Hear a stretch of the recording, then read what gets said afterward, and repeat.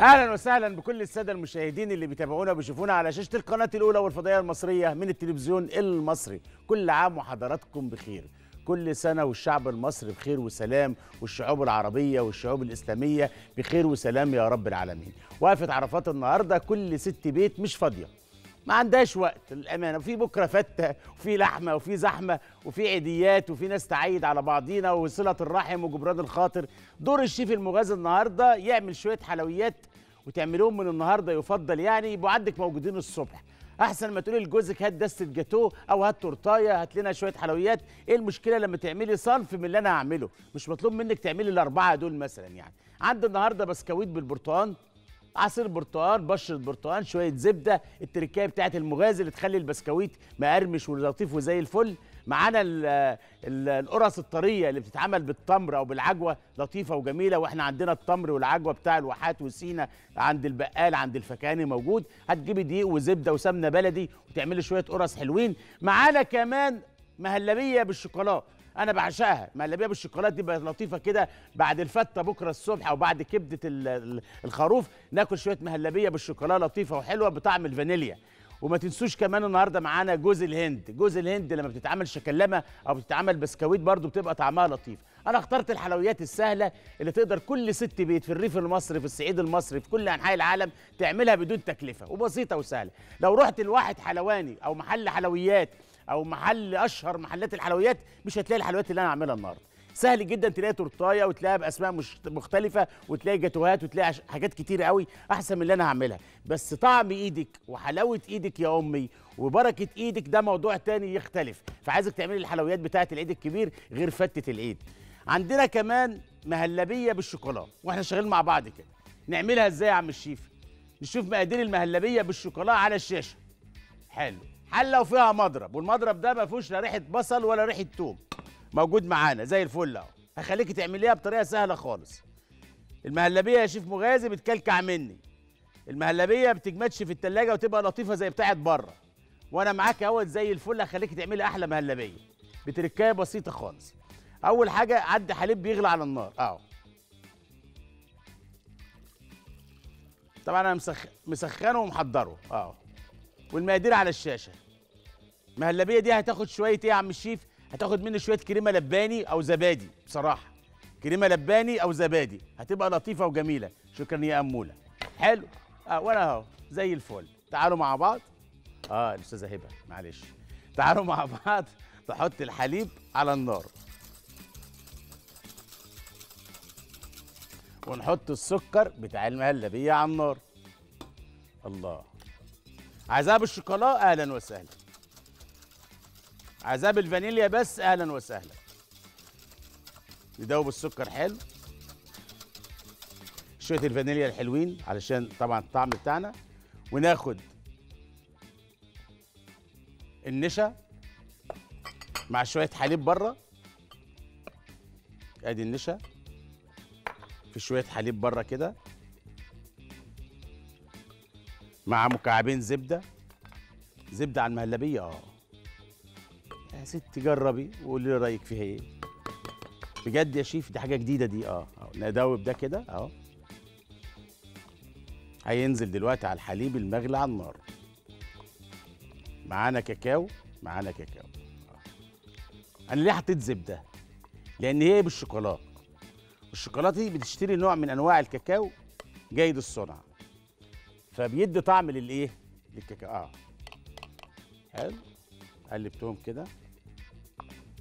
بنزلهم على الحليب اللي بيغلي ده. بسم الله الرحمن الرحيم. كده أنا عملت المهلبية بالشوكولاته سهلة خالص في ثلاث دقايق. أسهل من عمل كوباية الشاي. وعملت نوع حلويات. برضو لو لفيتي محلات الحلويات كلها اللي في الدنيا مش هتلاقيه غير عندك أنت وبس. للأمانة. آه. نقلبهم مع بعض. طلعت المهلبيه حلاوة. الله.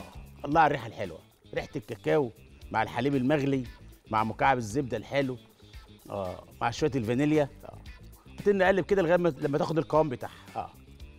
واجيب شوية كاسات. عايزة بقى تحط شوية مكسرات دي بتاعتك. شفت القوام بدأ يطلع إزاي؟ بص على القوام. بص بص بص على التقل. يا واد يا تقيل. مهلبيه بالشوكولاتة. آه آه. آه آه. شفت الطعم والحلاوة؟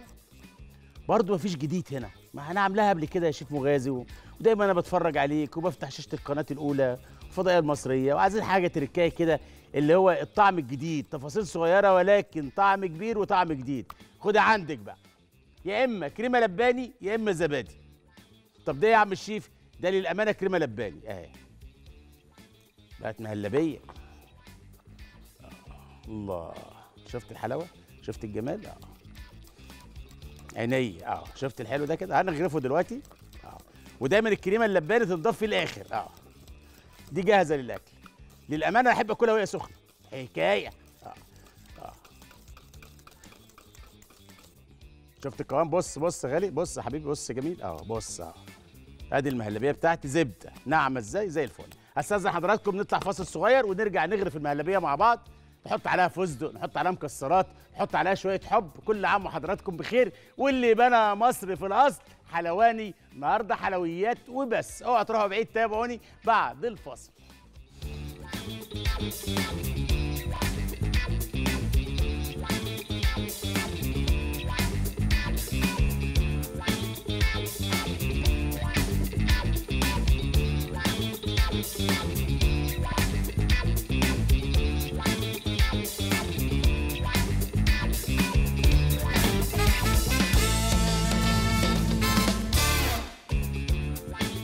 ورجعنا لحضراتكم بعد الفاصل لما بقول مكعب زبدة. على المهلبية بالشوكولا لازم تسمعوا الكلام. شوفوا مدينا لمع مديها للمهلبية لمعة إزاي؟ مش لونها غامق. كاكاو حليب نشا سكر فانيليا. ما تنسيش مكعبين زبدة. يعني تقريبا معلقة أكل كبيرة. على المهلبية؟ آه هي دي التركاية بقى. ده الجديد بتاع المغازي. آه. جربيها. نعم يا غالي. سؤال حلو. وجيه. دايما بتجيب أنت الأسئلة اللي في الزحمة. آه بيقول لي ينفع نحط الزبدة دي على مهلبية من غير شوكولاته لا ما ينفعش. هي بس اللي واخدة شوكولاته هي اللي تاخد زبدة. حلو؟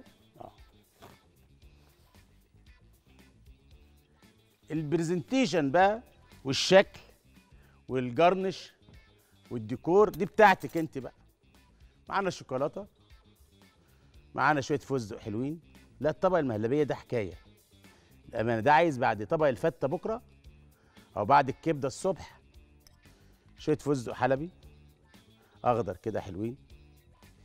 ممكن تخلي الفستق ده بره وقت التقديم يعني ما تخلوش في التلاجة.